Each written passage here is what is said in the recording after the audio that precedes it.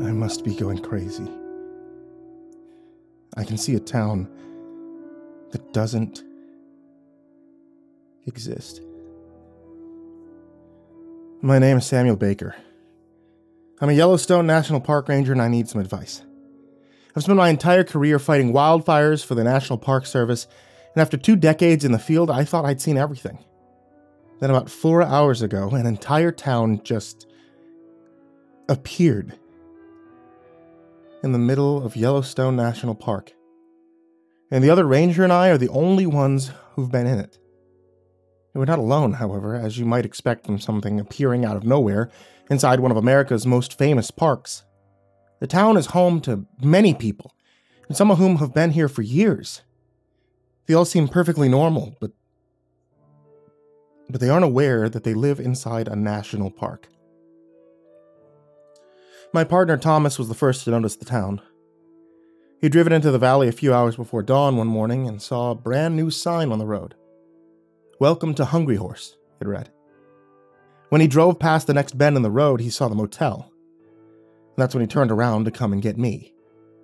The two of us had driven up the valley together in our trusty old Chevy Blazer and taken the long way around because we hadn't wanted to pass through the town until we were sure what it was. We parked at the base of the mountain and hiked up. We walked across the railroad tracks and past a small gas station with a lone oil drum full of diesel fuel and another filled with water. The street was lined with old cars, some of which looked like they'd been there for a while, others which had probably just arrived that morning. Hungry Horse wasn't a ghost town or even abandoned. It was thriving. Thomas and I entered the town cautiously because, despite appearances, the place could be dangerous. While we didn't run into any trouble, we did notice that everyone seemed indifferent to the fact that they appeared out of nowhere. Most of them ignored us completely, although a few gave us strange looks. Some of these people look familiar, I said, looking over at Thomas. He nodded. I know what you mean, Sam. Recognized a couple people in the diner, too. It's. it's weird. Those words echoed in my head as I watched a man carrying a bucket walk down the sidewalk. It's weird, I repeated silently to myself. My eyes followed his movements. The man carried himself with confidence and purpose, but he never looked up at where he was walking. Instead, he stared straight ahead and continued forward without looking back once. He disappeared around the corner of a building, and I noticed another person staring directly at me. He was tall and thin, wearing a black hiking jacket. His face was pale and he was bald. He was standing in the doorway of a small coffee shop. He reminded me of a missing hiker that we had been searching for last week. And that's when I realized why I recognized some of the people here. They're all people who have vanished from national parks. That's how we found out that almost every single person in Hungry Horse had been reported missing from national parks. We, we spoke to everyone we could find. Some refused to talk, others were friendly enough, but none of them knew anything about why they were there. As far as they were concerned, they lived in Hungry Horse, Montana. They weren't sure exactly when they arrived there. A lot of them couldn't remember much before arriving in Hungry Horse. They also told us that they'd been here for years. Many of them had been born and raised in the town and believed it was the real deal. They all knew the townsfolk by name and went to school with them. One woman, an older lady named Irene, told us that she had no idea that she'd been reported missing. She worked at the local hardware store and she'd been living in Hungry Horse for more than 45 years. What about your husband? I asked. Do you have children, grandchildren? She shook her head. No, I never married. How do you feel about being here? I mean, do you miss anywhere else? Your family, maybe. Again, she shook her head. Not really. This is my home. As far as she knew, this was the only home she'd ever known. I tried to ask if she missed her family, but she just smiled and told me her family was right here in Hungry Horse, Montana. We thanked her and left the hardware store, hopping back into our park ranger truck that we drove deep into town. I don't like this, Sammy, Thomas said. I had a feeling of being watched ever since we entered town. I looked over to him he was staring at a man standing by a large semi trailer outside the diner. The man was holding a jug of milk. I couldn't help but think of the hiker that we'd found dead last week. Sam, you listening? I snapped back to reality and looked over at my partner. Thomas had started quivering in fear. Sorry, what did you say? I said, I think we should leave. I don't want to be here anymore. I looked around the town. There are some people here. So many people who shouldn't be here. All of them were perfectly normal. Some of them even knew each other. How could there be so many people in a town that doesn't exist? I agree. Let's go. We drove away from the town and back to the ranger cabin. Thomas was still shaking. I'm gonna call this in, he said. Whole thing's bullshit, but you better document it anyway. I mean, how could an entire town full of missing people just appear in the middle of Yellowstone? I nodded. Okay, I'll be in the cabin. I need some time to process all this shit. I sat down on the couch and I closed my eyes. It all felt unreal. I kept thinking about the hiker that we'd found out in the woods last week. He died while out on a bike in the wilderness. He'd been alone, confused. But I just saw him alive and well in a town that doesn't exist. I opened my eyes and I looked around. I took in a deep breath and let it out. Smelled like wood smoke and pine. I stood up and started pacing the room. So what am I supposed to make of this? I asked myself. It's kind of sick joke. The government put a town in Yellowstone for some reason? What if it's not a town? Maybe it's a cover up for something worse, I thought, before zoning out. There was a knock at the door. It startled me out of my daydream. Come in, I yelled. Two men came inside, both dressed in black suits. You the one in charge here? One of them asked. I looked at him and nodded. The guy was wearing a badge on his chest and a gun on his hip. Some kind of FBI agent. About to talk to him. I don't know if they'll believe me, but the fuck do I do? First off, let me clarify a few things from my first post. I was a wildland firefighter up until about a year ago when I decided I needed a change of pace. So they weren't FBI agents. Okay, they said that they are from a private company that deals with the otherworldly. I sat in front of the two men waiting for them to start asking questions. So, do you know why I've been assigned to the case? The taller of the two men asked. You're the only one in the park who knows anything about this. I nodded.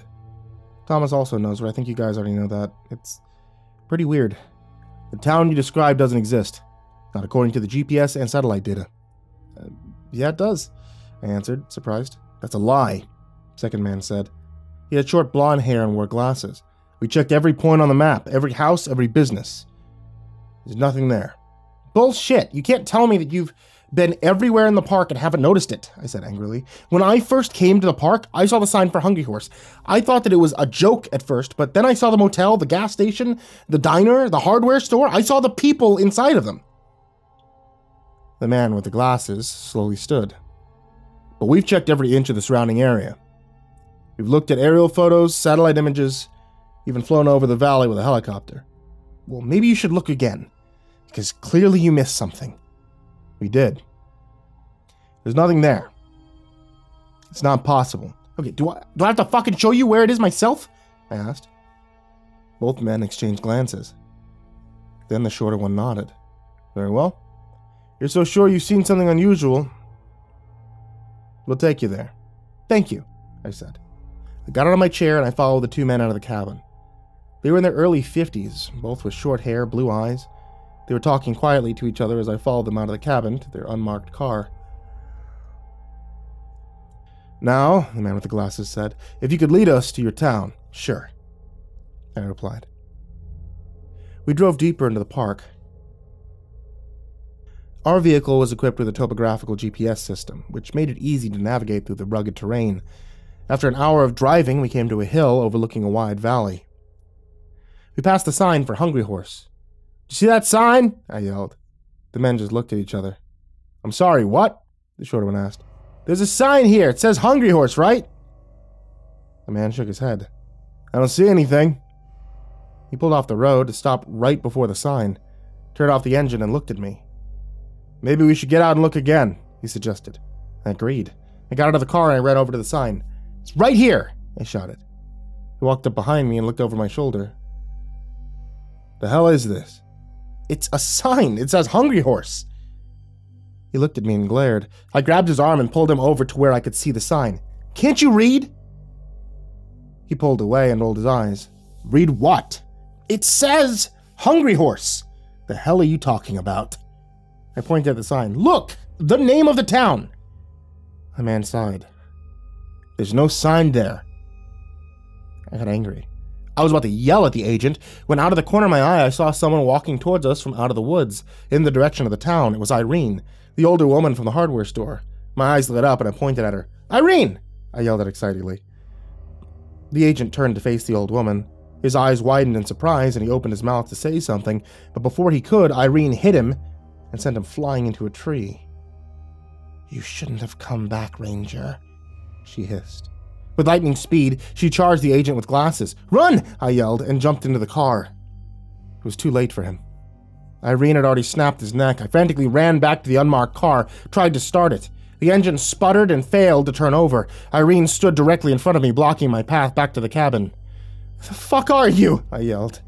You should never come back here, she said. You have no idea what you're getting yourself into. The hell is going on?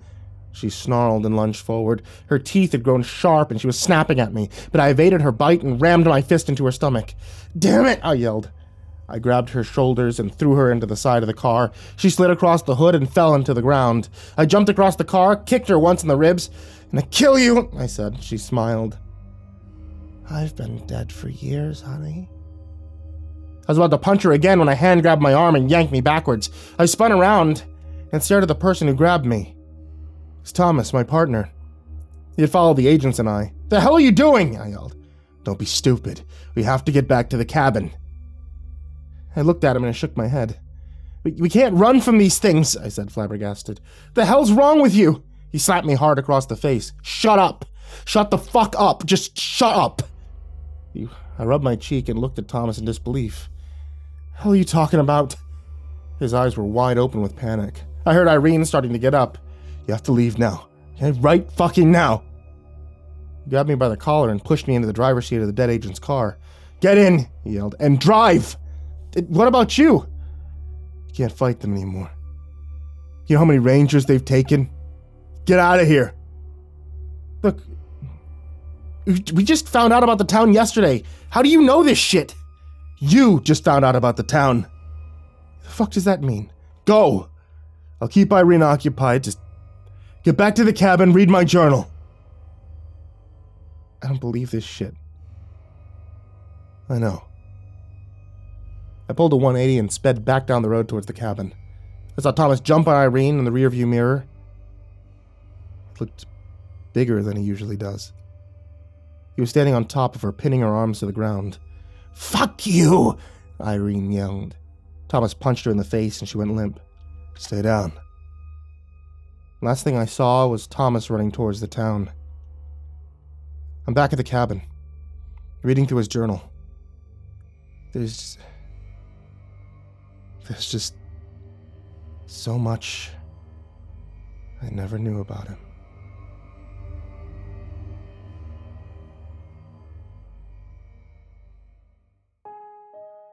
Hey guys, it's still hot out. Like unreasonably hot out. And you know what's great when it's unreasonably hot out? Iced tea. So if you guys like iced tea, check out Ivory Monocle Tea. Uh, that's my wife's uh, loose leaf tea thing she does on Etsy. Etsy.com slash shop slash ivory monocle tea. You can get a whole bunch of different kinds of teas on there. They can be made hot if you're insane, or they could be made cold if you live anywhere near the equator. So check out etsy.com slash shop slash ivory monocle tea and you can get a whole bunch of different kinds of teas from the fruity kind to the caffeinated kind to the kind that's named after creepypasta things even one that's named after me my dark and stormy night and if you ask when you order that tea you can get a little mcp dabbing sticker along with it oh also i don't think i've ever mentioned this but i sign all the cards if they're like horror related teas so if you ever wanted that check that out. That's uh, the only, I guess, the only place you can get it now.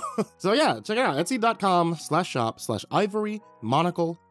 And as always, I want to give a very big thank you to everybody who supports me on Patreon. Thank you so much. A very big thank you to Jordan Alexander Sanchez, Stephanie Butler, Reaper 61167, Bobby Carmen, Tristan Pelton, Chance Burnett, Diana Kraus, Vicky McQuickie, Sama High, Crusader Chocobo, Spooky Shell, Adam Moros, Grand Moth the Milky, Big Smoke 369, Captain Scurvy, Salty Irish Poet, Esteban, Braden Morris, Nate Cull, Horror Fan 1212, Hour Minute Second Time, Kyle Resnack, David Martin, Scarrington the Unkempt, Robert Malcolm, Angela, Spanky, Snoochie Boochie, Seclude, Lupita Galvin, That Creepy Chick, Tyler Fletcher, Merxenum, Red Shadow Cat, Xavier the Cheyenne, Demix, Sean Catabaker, Six Gay Rats in a Trench Coat, Turtle Man, Rob Like Sharp Things, Cryolinian, Xavier Graphius, Lord Life's Best, Goring Tremagacy, Maria Walker, Emily Mitchell, Crazy Kid, Mr. Marcus Blitz, Eka Limchok, Dirt Diver 030, Matt Bach, Voice of Sand, Coffee Zombie, Hidden Tiger, Shelly J, Jeremy H, Psychomel, Nana, Deleted Account, Melted Lake, Tali Sue, William King, Darth Miver, Michael Ortiz, Satanic Aries, Bardo Hawk 764, Lambda M98, Harley, Sashi Suzaku, Cronut 509, Kaylee Ambrose, Suji Campbell, Stricken, Freddy Krueger, Happy Birthday Jason Wilson, Lisa Cottrell, Caspian, Hades Nephew, Tater Chip, Acid System, Prozac and Pancake Appreciation Society, Benjamin Welverick, Cryptic Nightmares, Kiwi the Sloth, Fester's Lampshade, Sky Harbor, Nico Kyle, Rafael Rodriguez, The Ginger Bros, Aaron Stormcrow, Daniel Polson, and Corey Kenshin.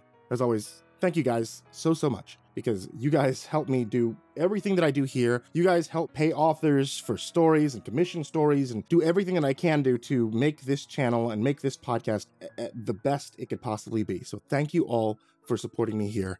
And as always, everyone, sweet dreams.